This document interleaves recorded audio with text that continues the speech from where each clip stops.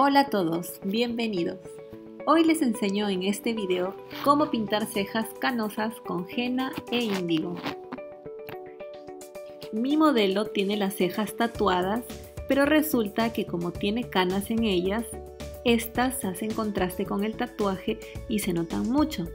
La solución, henna e índigo.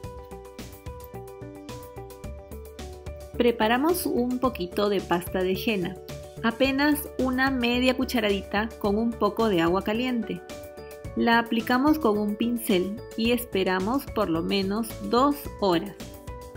Quise dejar la pasta en las cejas menos tiempo, pero la verdad, las cejas son bastante difíciles de pintar.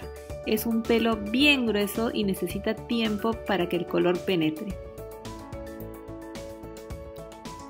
Luego de enjuagar vemos cómo la cana toma la típica coloración cobriza de la ajena.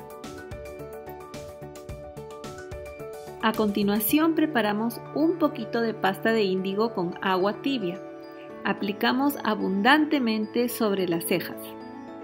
Ahora tapé con plástico para asegurarme que las canas estén bien cubiertas y no se seque la pasta. Acá hago un paréntesis para aprovechar y enseñarles que mi modelo también se tiñe el cabello con henna. Ella usa una mezcla de henna e índigo en partes iguales y obtiene un hermoso color marrón para sus canas. Bueno, ahora sí, sigamos con las cejas. Pasadas las dos horas con el índigo en las cejas, enjuagamos con agua y miren, no más canas, las canas quedaron negras y muy naturales.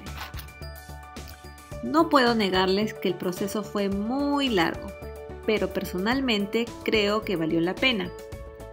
Si tienen muchas canas en las cejas, pueden animarse a probar los tintes vegetales, que no son dañinos, sino todo lo contrario.